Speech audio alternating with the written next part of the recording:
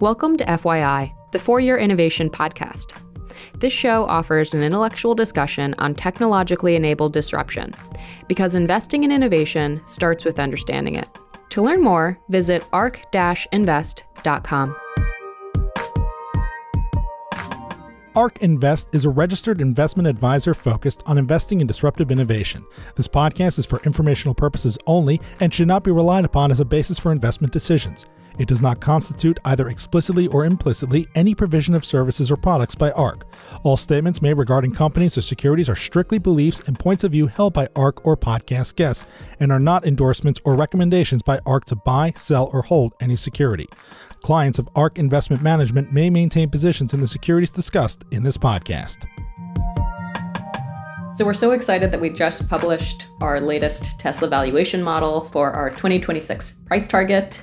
Um, I have here with me, um, I'm Tasha Keeney. I'm here with Sam Korus and Will Summerlin.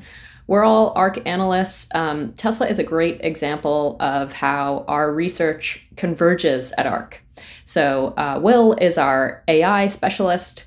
Of course, you know Sam, an expert on electric vehicles and their batteries and I cover autonomous technology and autonomous driving.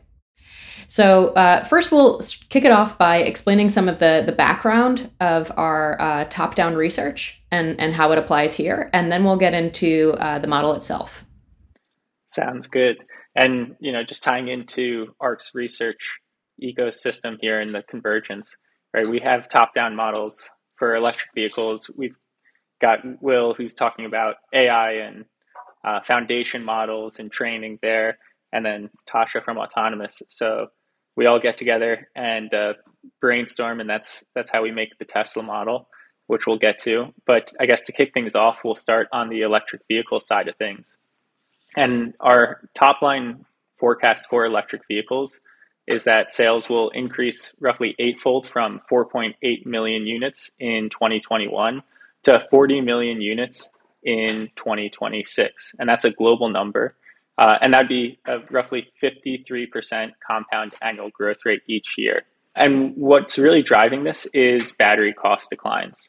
And so we use Wright's Law, and this is across uh, many different themes and, and technologies. But for batteries, it's so important because the battery is the single largest cost component of the vehicle. And so Wright's law states that for every cumulative doubling of production, you get a fixed percent cost decline. And for lithium ion batteries, that's roughly 28%. And so we think that by 2023, a electric vehicle is going to reach sticker price parity. So that's the upfront cost the consumer sees with a like for like gas powered car. And at that point, uh, it should really be a no brainer. And we think that we're going to see a huge shift in demand towards electric vehicles. With that, I'll pass it to Will to talk about AI. So, one of the opportunities we're really excited about within AI is the opportunity for foundation models. And to dig into this a little bit, one of the things that we've seen historically is that the larger models are AI models, the better they perform.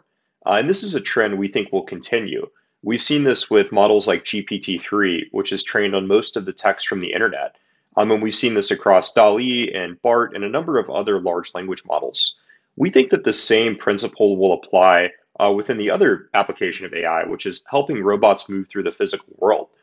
And Tesla has really unique data assets in that they've seen billions of miles across their fleet and use that to train their own models for full self driving and autonomy we think there's actually an opportunity for Tesla to make those models openly available so that other developers, other companies can actually build applications and products on top of Tesla's models. And this is what we call a foundation model. So, based on our research and big ideas, we think the opportunity for foundation models um, could be worth about $25 trillion in terms of enterprise value by 2030. And we think the market will bifurcate. There will be models that are used to solve problems in sort of digital native context. And so uh, these are models like GPT-3 and DALL-E that can uh, help edit text or manipulate images uh, or generate stories. And then we think there'll be a different use case, which is helping robots move through the physical world. And we think that'll be a different set of foundation models. So while Tesla hasn't actually openly discussed this strategy, we do think it's a possibility, um, especially given Elon's excitement around AI and given their unique data assets, especially given their investments in compute. Um, and so we're very excited to see how that opportunity could manifest. With that, turn it back to Sam and Tasha. Thanks, Will. And you know, one of the the biggest potential markets that we see in AI is autonomous driving.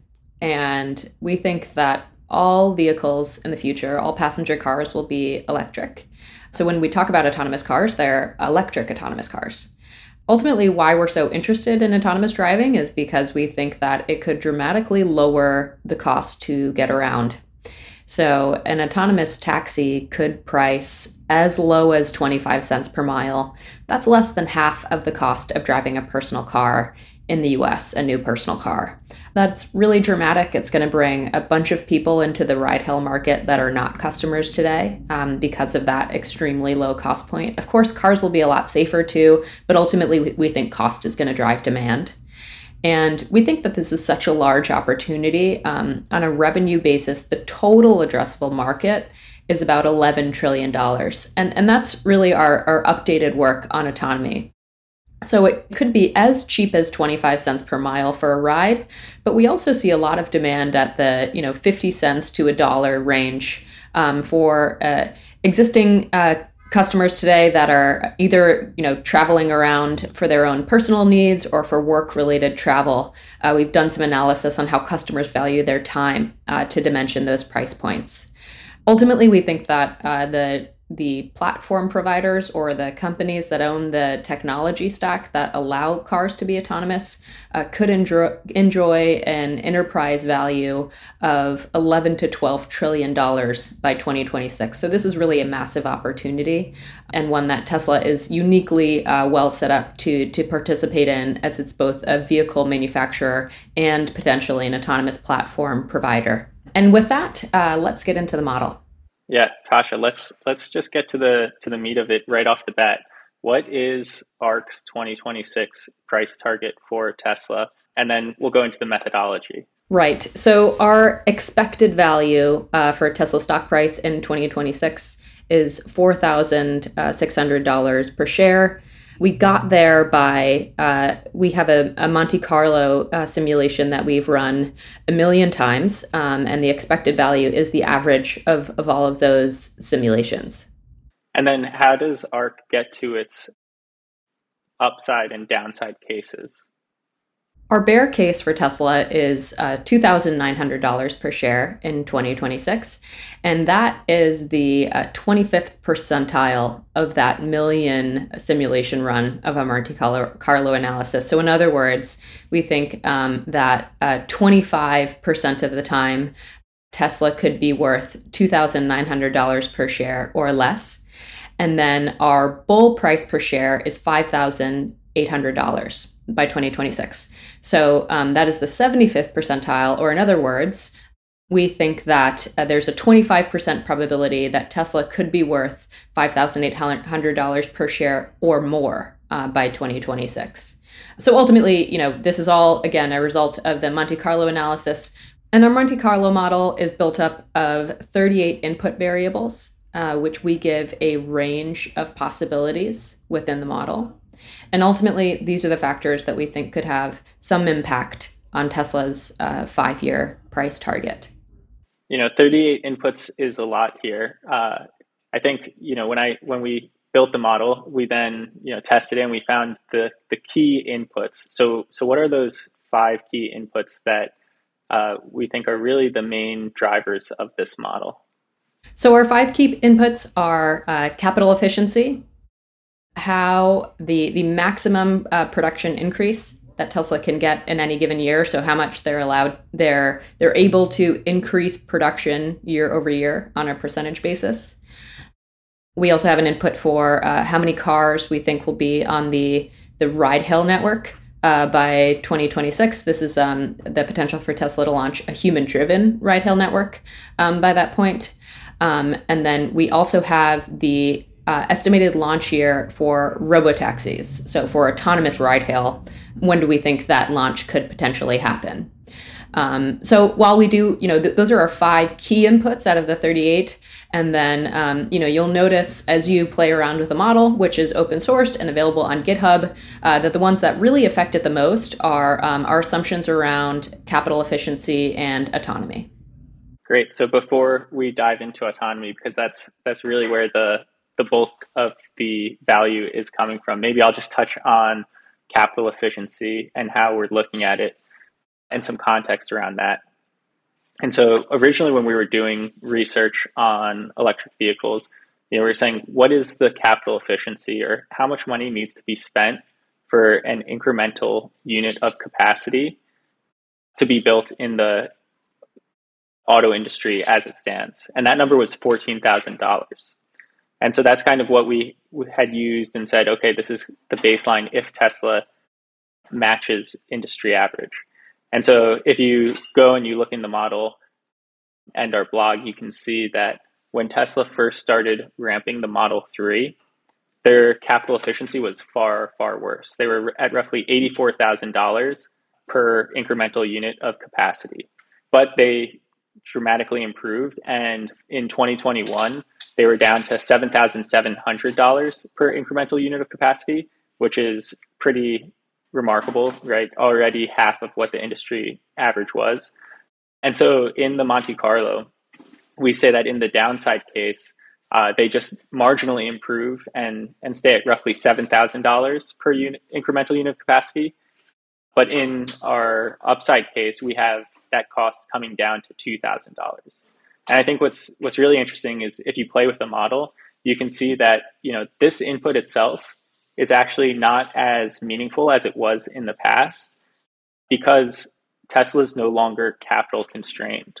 And so what that means is that you know their ability to scale production is not based on how much money they have in the bank account, how much money they can spend. It's really based on management bandwidth, whether or not there's supply constraints, uh, which have been particularly relevant over the past year.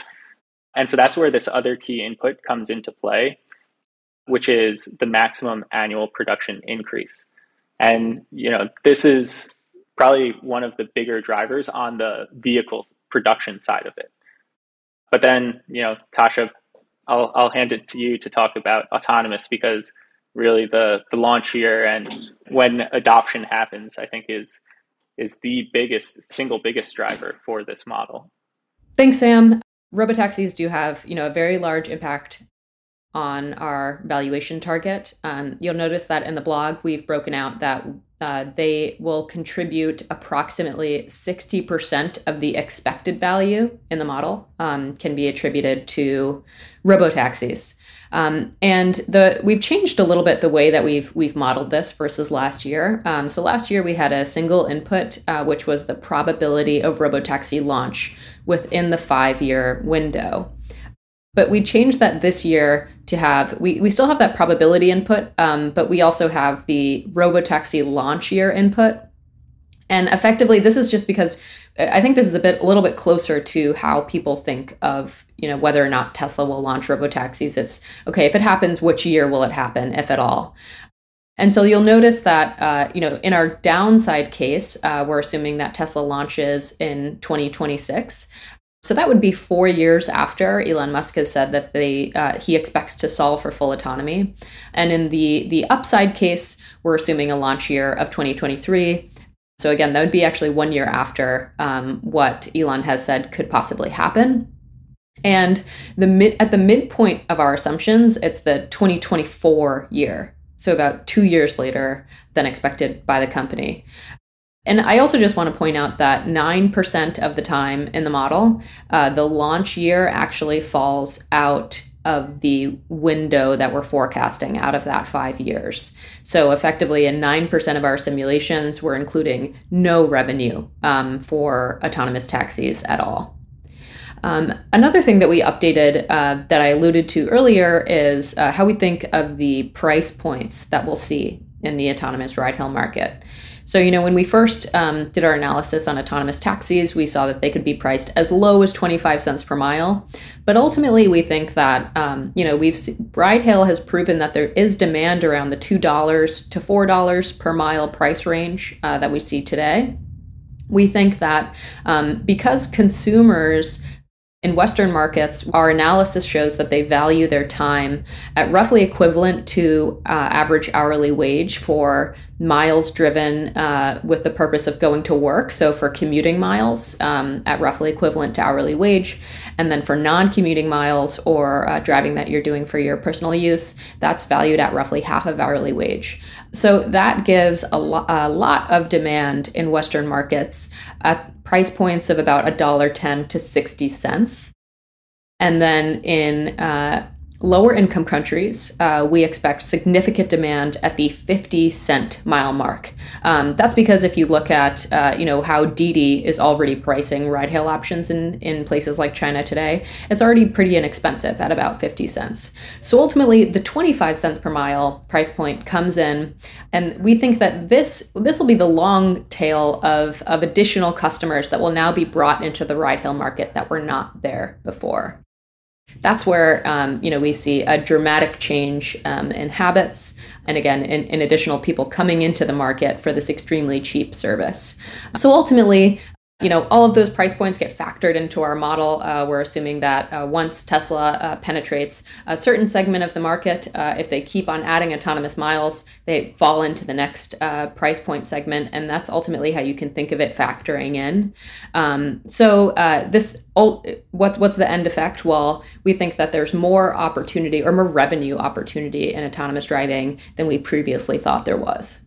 So Tasha, as people go through the model and play with it um, one, it's like if you're going to do that, you know, download this on GitHub. Uh, but if people are going to do that, you know, and they have questions or uh, they don't understand something, what's the best way for people to to reach out and to interact with us? Because you know, a big part of ARK's research is this open sourcing and research ecosystem. So, what's the best way for people to to get uh, involved and interact?